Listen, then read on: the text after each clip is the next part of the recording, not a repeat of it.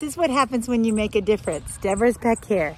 So a lot of times people think, well, what's so special about that? Well, when you have a dog and it's midday, no matter what time it is, guess what? Your dog needs to go outside. Your dog also gets bored without anything. Your cat also gets bored when you go on vacation. So that's where I stand in the gap. Deborah's Pet Care. Your dog isn't lonely. Your dog plays. Your dog walks. Your cats are not lonely. Your dog walks your cats are, I visit your cats. So that's what I do. And this is what I do. I get lots of love in return. Free kisses. Have a great day. Deborah's Pet Care.